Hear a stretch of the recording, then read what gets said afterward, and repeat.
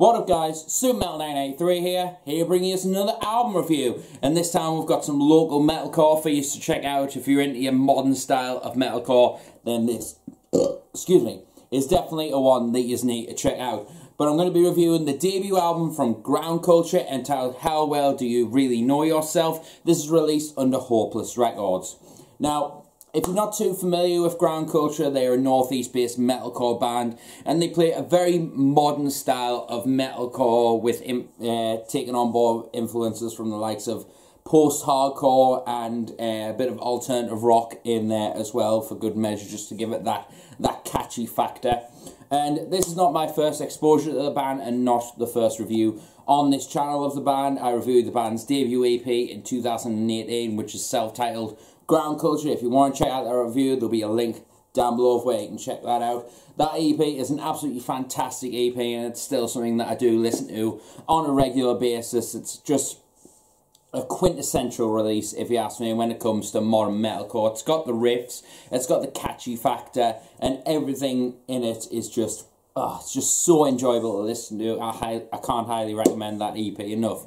So you can expect uh, that I was really excited for this debut album. The band's uh, gone on tour with the likes of uh, Crossfaith across uh, the UK and uh, played an array of great shows, including Download Festival and uh, I can't remember the name of the festival, but they played with uh, 30 Seconds to Mars up here in the north, uh, in the northeast. So the band's been getting themselves about and preparing for this debut album um, in due course. And when they signed to Hopeless Records and released the uh, the first single off this uh, album, which was called Life Won't Wait, which is the first one uh, on the track list, uh, I was really, really hyped for this album, especially hearing that single. It took on board all the stuff that I loved about the last EP, and it got us really, really hyped, and they released uh, another single in due course before the album's release called Real Eyes, which, in my personal opinion, was gonna, I knew was going to be one of the stronger tracks on the album and grow to become one of my favourites because just such a catchy song and so enjoyable to listen to. And excuse me, and then just before the album's release, they released a new single uh, this past. I think it was Wednesday or Thursday, entitled uh, "Take My Breath Away," which I was really, really uh, in love with that singer. I did a, a reaction on my Instagram, which uh, is not up there now, but yeah, it, absolutely amazing single. So I was really hyped for this album to drop, uh, which was yesterday. Uh, sorry, today. Yeah, yesterday. Yes, no, today. Sorry, my bad. But anyway, the album is ten tracks and runs thirty nine minutes in length. And straight away, I can say this without any question or shadow of doubt that this is one of the most enjoyable metalcore releases I have heard so far in 2020. I mean, I just love the riffs that are on this album. They're just so catchy and memorable. They really put us in mind of um, kind of a, a cross between um, Architects with that modern um, lick sort of uh, techie sort of um, approach to them, but then still has the catchy riffy factor of the likes of Cancer Bats, for example, which, uh, if you've heard Cancer Bats before, you'll know their, their riffs are undeniably catchy, and I definitely feel that sort of influence on this when it comes to the guitar work. I mean, there's some really, really headbangable riffs on here as well during like the breakdowns. They're not just uh, your run-of-the-mill chug fest uh, sort of um,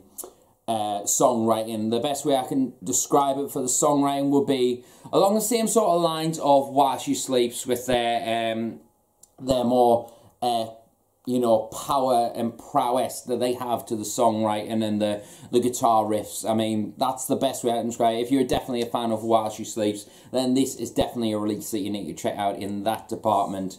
Uh, the drum work as well, absolutely amazing uh, drum work on here. There's some real intricate go uh, grooves in there that really grab your attention and just and I have to say though um, about the drum work the the mixing on this album is absolutely fantastic. Every um, uh, element of the drums just absolutely pops like right in your face and it cuts through the mix so fine. The mixing work on this album is absolutely uh, remarkable if you ask me. I mean uh, it's one of the uh, it's one of those things that I think when um, modern metalcore comes about, the drums definitely seem to uh, not pack as much of a wallop uh, behind the mix and you know make it um, come alive, you could say. Whereas this one definitely has that factor going for it because uh, uh, I mean that snare tone on here, it just smack. It's a smacking tone, and I absolutely love the way it cuts through the mix. Uh, very finely, but very sharp as well. And I just think it just makes the album express express itself in a a different fashion, if you know what I mean. Um, yeah, and the bass work is absolutely incredible as well. I mean, the bass tone on this album is very modern metalcore sounding with the whole um, the, like clanky um, sort of tone, that like uh, crispy bark from the bass tone to really cut through the mix and really make it. Um, it does reflect the drums uh, in a lot of way that it does. Um, have a sense of sharpness in the mix, which really um, surprised me in all honesty, but I really did like the bass tone on here and the way it connected the drums and the guitars in a real cohesive unit. Everything was there for a reason. That's the way it feels when you listen to it. It's not one of those like anything feels scattered or anything. This is just a really refined and precise sound and release. I absolutely love it. And the, the power from like the, the cleaner sections on this album definitely scream out quality, if you ask me. Now, the vocal work is definitely something that I admired straight away from the first uh, release. They definitely um, did um, remind me a lot of um, While She Sleeps, that like kind of powerful, as if half scream sort of thing, you know, like uh, Sam Carter of Architects sort of vibe, but not in the like really high end scream that uh, Sam Carter does. There's a more mid range screams in there, but there is still some powerful uh, mid screams in there just in general that really uh, give a sense of emotion and aggression on this album uh, when it needs to be. But there's some more. Um, one thing I did admire about this album compared to. Uh, or admire this album more than the EP was um, there's a lot more cleaner sections like um, mellow vocals on here, especially towards the, the later half of the album from um, about halfway through where it starts to mellow down and start sinking. Like you, you've had the riff fest and now here's some like more I would say the, the start of the album kind of feels a bit more metalcore orientated whereas the the, the later half kind of feels a bit more post-hardcore and then the last two songs dream like a child and 1974 definitely feel more um, alt rock influence in the post hardcore. So it's a really nice progression on this album. There's been a lot of thought and attention gone into this release, definitely. And I might as well also say there is some uh, a guest spot on this uh, album for on Dream Like a Child by excuse me Philip Strand of Normandie, and uh, discovered Normandie uh, through their debut album. I can't remember what it was called. I think it was called White Flag or something like that.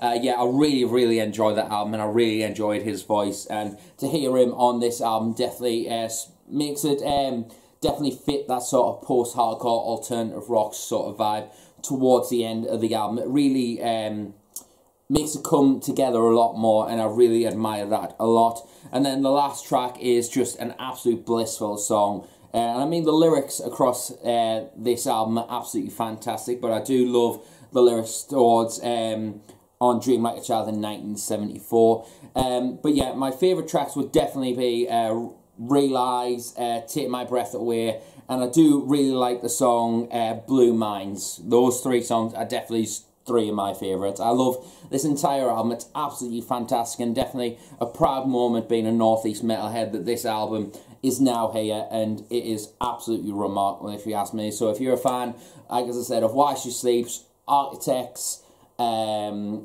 who's the other one, Cancer Bats, or even uh, modern uh, Northlane, then this is definitely something that you will enjoy from everything that's going on from the from the riffs to the drums to the vocals to the lyrics.